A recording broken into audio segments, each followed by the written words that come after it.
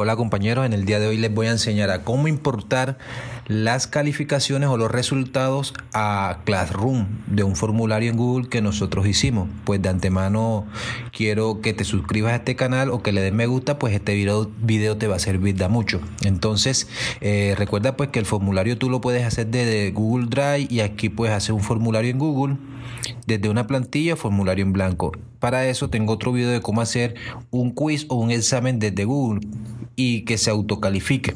Listo, ya que hayamos creado el formulario, que lo podemos crear desde aquí, podemos hacer lo siguiente. Eh, podemos abrir como tal en Classroom, pues una clase, ¿cierto? Eh, vamos a suponer que es matemática de 701, trabajo en clase, de clase, y le vamos a dar en crear. En crear tenemos dos opciones. La primera opción es una tarea de cuestionario y la segunda opción es una tarea. Vamos a escoger tarea de cuestionario cuando nosotros apenas vamos a crear lo que es el formulario. Fíjate que cuando nosotros damos en tarea de cuestionario, aquí aparece algo que se llama blank quiz, ¿cierto? Si tú le das aquí te va a salir un cuestionario pues en blanco y aquí tú lo puedes editar, le puedes agregar, le puedes poner. Recuerda pues que la se puede poner autocalificable y aquí te sale si lo quieres limitar a una respuesta, eh, si después de pronto quieres convertirlo en un cuestionario que viene por predeterminado. Entonces fíjate que aquí salen los puntos y aquí le ponen la clave de la respuesta. Listo, supongamos que ya usted armó lo que era el quiz ya lo tiene listo, pone lo que es el nombre, apellido, ta, ta, ta. Aquí tiene que tener seleccionado la opción importación de calificaciones. Si no la tiene eh, seleccionada, pues le recomiendo que lo haga y le da en crear tarea. Esto es cuando uno quiere crear apenas el formulario desde Classroom.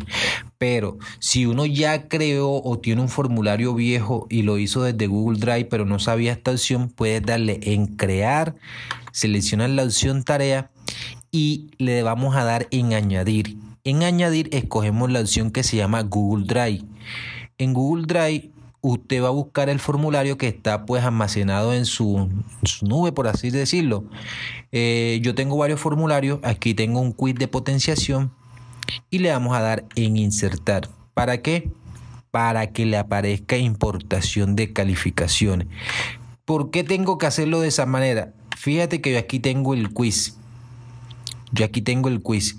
Tengo el link del quiz. Y si yo le doy en añadir y selecciono enlace, obviamente el formulario se va a añadir, pero no me va a dar la opción de importar calificaciones. Entonces, muy importante que usted le deje en añadir Google Drive y seleccione como tal lo que es el formulario que está creado y que tiene almacenado en, en su Drive.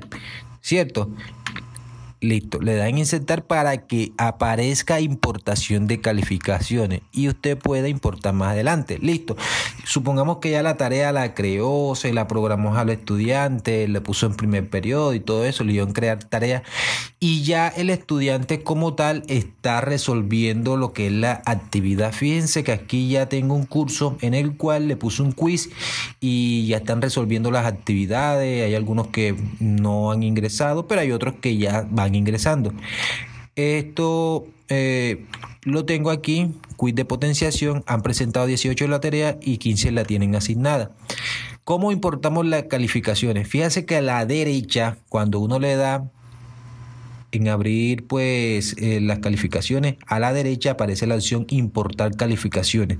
Le vamos a dar ahí y me dice, seguro que quieres importar las calificaciones de la potenciación. Le vamos a dar en importar y ahí automáticamente van trayendo lo que son las notas. Fíjate dónde están aquí. Mira dónde están aquí. Y a los que aún no han entregado, pues todavía aparecen sin entregar. Entonces, ya iban apareciendo.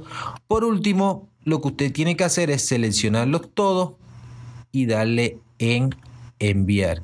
Entonces aparecen de una las notas de cada uno de los estudiantes. Esa es la nota del quiz y le das en enviar. Automáticamente al niño se le calificó la actividad sin problema y pues aquí tenemos aún aquellos estudiantes que de pronto aún no lo han entregado, aparecen los que apenas entregaron y todo eso. Eh, pero fíjate que ya se le seleccionó, listo. Eh, aparece completado con retraso. Ojo, es muy importante pues que le pongamos una fecha de entrega para que de pronto se, se, importen de manera automática las notas, sin necesidad de, pronto nosotros no darle en importar calificaciones. Fíjate que nuestra última importación fue a las 9 y 15.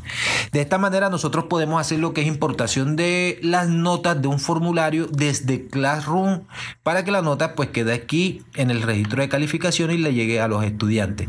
Eh, espero que te haya gustado este video, que te sirva de mucho este material y pues compártelo. Eh, de antemano te pido que me ayudes suscribiéndote y pues que tengas un feliz día, que Dios te bendiga. Chao, chao.